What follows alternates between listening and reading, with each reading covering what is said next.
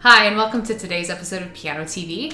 I want to take a look at the top five most underrated composers, according to me. It's an entirely biased list. And actually, this list was originally 14 composers long. And I kind of just like I chopped it down to my personal favorites. I tried to include a diverse mix of uh, European classical musicians. So there's a Czech composer on here, there's a Spanish composer, an Italian composer, a French composer, and a German composer. However, I didn't make a diverse list in terms of eras. So what you'll find is in this list, all of them are romantic or late romantic composers except for one. And again, that just kind of reflects my own personal bias, the kind of music that I enjoy listening to. But I also picked these composers because I feel like you genuinely, well, at least from what I see from your comments, you guys tend to like romantic music too. So I think you will genuinely enjoy these suggestions. At least that's my goal. So let's get started. Domenico Scarlatti is technically a Baroque composer. Uh, he was active in the early to mid 1700s, but his music was also leaning in the new classical direction, which would have been the mid 1700s to early 1800s. One of Scarlatti's biggest shortcomings is that he was born in the exact same year as two other really huge Baroque composers. So Handel and Bach were also born in 1685, and they definitely overshadow him. Because even nowadays, everybody knows of Bach, and um, Handel is still fairly well known, even for people who aren't like super acquainted with classical music. But most people, unless you're a keyboardist, uh, don't know Scarlatti. Uh, he was really prolific. He wrote a whole bunch of serious operas, around 60 of them. He wrote liturgical pieces and other vocal works. But mainly what survives today of his works are his 555 keyboard sonatas. So if you've heard the name Scarlatti before, that in and of itself means that he's not entirely underrated, but what I think he is, is often overlooked. So for example, his most famous works, his 555 keyboard sonatas, are labeled sonatas, but they're actually nothing like classical sonatas by more famous composers like Mozart and Haydn and Beethoven. Because of this, I think there's like a genre classification issue.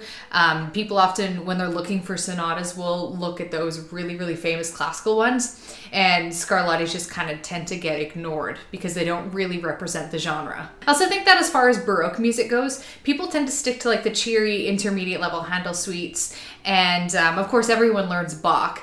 And since those two composers more distinctly represent the Baroque era, whereas Scarlatti represents more of a transitional period between the Baroque and classical periods, he often gets overlooked because of that, because he's not such a like clear cut definitive Baroque guy. I really recommend you check out Horowitz's uh, Scarlatti Sonata. I think K87 is the one I have linked on the blog. Um, the, the clip I'm going to play for you isn't Horowitz, but it's still a very good recording of the same sonata, and you can get a sense of his emotional style in this.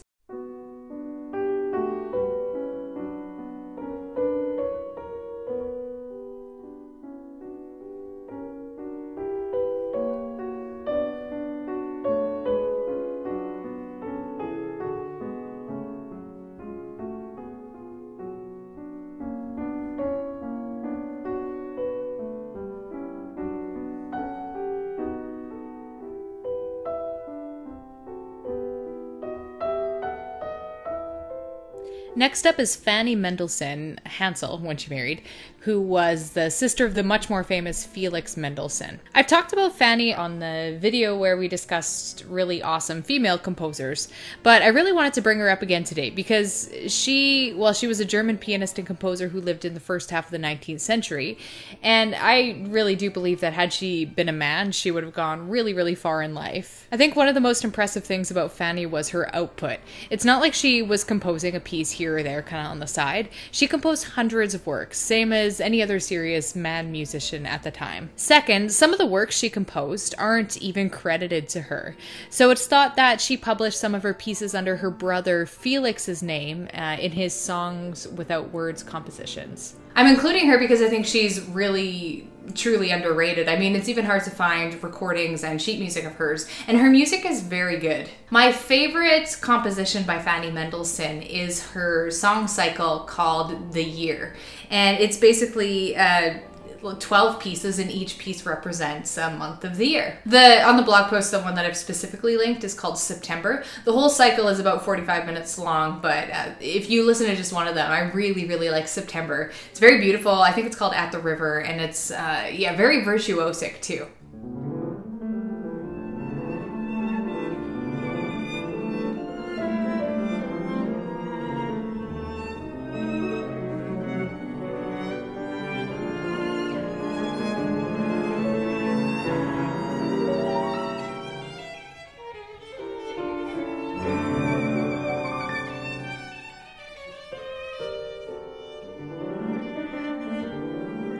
And then we have Charles Valentin Alkan, who I wouldn't have even heard of had it not been for a few really devout fans writing passionate comments on this channel. So thank you for the Alkan fans for bringing him to my attention.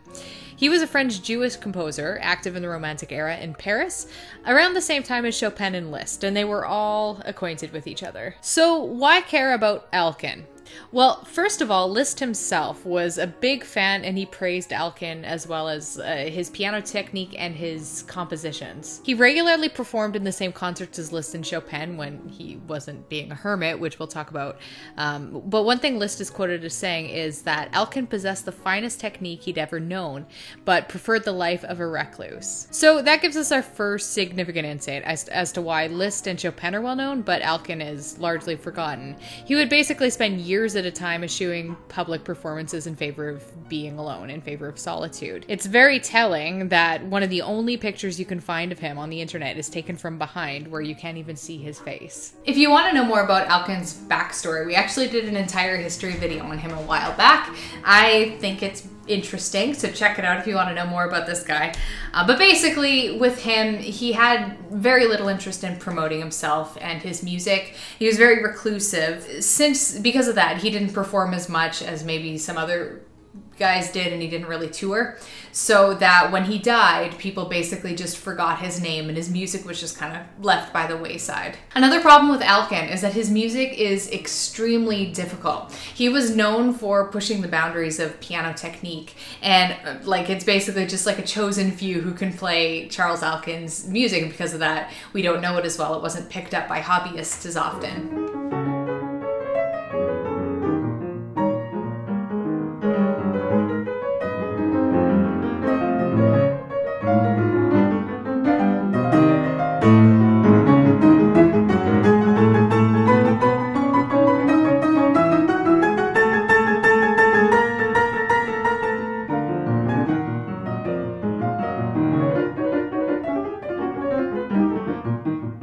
Find that Spanish composers, and well, basically any composer not from USA, Germany, Britain, Italy, or France, tend to get really overlooked in Western music. I didn't really come across Spanish composers in my music studies that I remember. It was honestly just like my own curiosity that led me to discover Isaac Albeniz. And Albeniz was active in the late 1800s, towards the end of the Romantic era, and he's best known for his piano compositions, like his epic Iberia suites, probably his best known work and one of the most challenging sets of pieces in piano repertoire ever. Um, and that's probably why I chose him as opposed to some of the other Spanish composers who we'll talk about in a moment, because I just really like piano music and that's my bias. A lot of Albeniz's music has been transcribed to guitar, and some of my absolute favorite recordings of his are performed on classical guitar, so I encourage you to check those out. I honestly can't give you a solid reason for, I have a few theories as to why Albeniz isn't more popular. Um, I mean, it could be that his piano music, kind of like Alkan's, is very vir- virtuosic and very challenging, so that less people play it but it's also very appealing music. Again, I find that Albeniz is one of those guys that even non-classical music lovers can appreciate. And maybe like he didn't live a particularly long time. He lived to the age of 49. So, I mean, maybe that's part of it, but I mean, a lot of composers died younger than 49 and left a significant mark, like say Schubert. So, it's hard to say. There were a couple other influential Spanish composers around the same time as Albeniz, notably Manuel de Falla and Enrique Granados, both who would have been perfectly valid to be a part of this list. As I mentioned, I just happen to really like Albeniz. A part of it is his music is is Liszt-like in its impressiveness. It's very virtuosic, but it's also immediately enjoyable for even the most casual of classical music listeners. Like I know people who enjoy Albeniz's guitar transcription music um, but they don't listen to classical music. It's very appealing. Um, and part of the reason I think it's so enjoyable is because his music's largely based on Spanish folk music. And folk music, by nature, is really simple. If you think about what people listen to on the radio, like pop music and stuff, we tend to find like a natural appeal in simple music. My favorite Albeniz is his Suite Española Opus 47, which contains my favorite piece, Asturias, as well as Granada. Um, Iberia Suite, as mentioned before, is also really really amazing. If I'm remembering correctly, I'm pretty sure this is one of my picks from the video we did a while back of um, classical music for people who don't like classical music. I find it's super appealing, and the version I've linked on the blog is the piano version, but there's also really cool guitar transcriptions of this one that sound like almost better. They're both good in their own ways, though.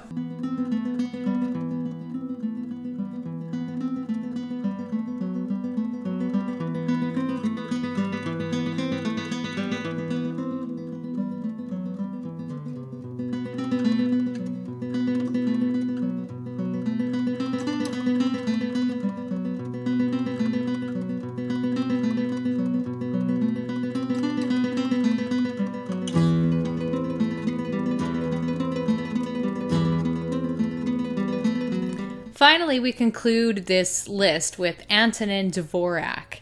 And most of you actually probably know the name Dvorak, so you're probably wondering why he made this list.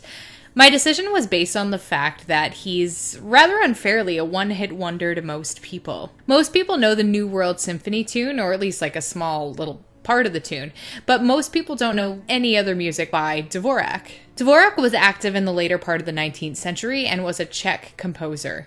And like others in his era, he relied heavily on folk music in his writing. So, again, why wasn't he more popular? I think one of the biggest reasons for this has to do with Brahms. Brahms was writing similar music at a similar time, and Brahms was really successful. Dvorak's music was simpler and lighter than Brahms, and it, his music has been criticized as being superficial, not as deep. So, Brahms was considered the more serious musician and they often got compared. Some of us music fans can fall into the trap of thinking that if music isn't gritty enough or if it isn't dark enough, then it's not music to be taken seriously.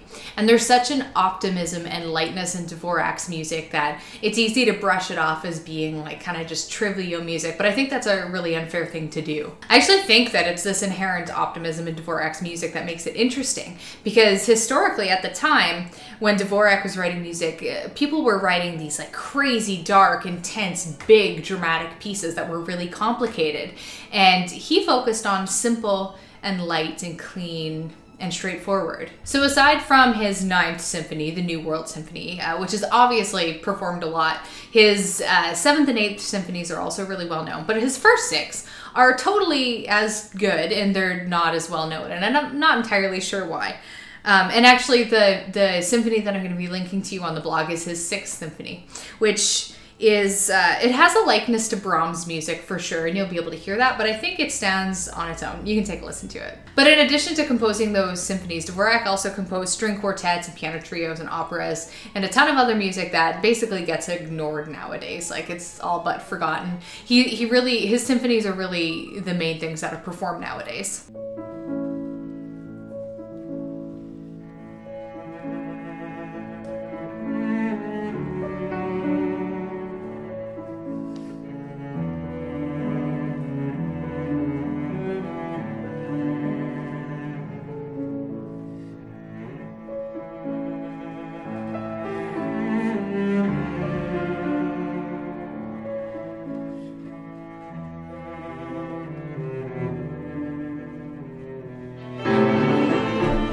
And that is all for today's video. I hope I was able to share with you some maybe new music that you hadn't heard before that you can go and check out and enjoy. And yeah, thank you so much for watching. I appreciate all of you for commenting and liking and subscribing, and I'll catch you in the next video.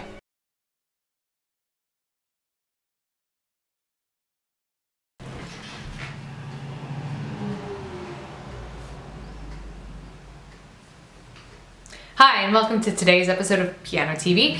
And I almost didn't say Piano TV, I don't know what I was gonna say. That loud truck is really distracting.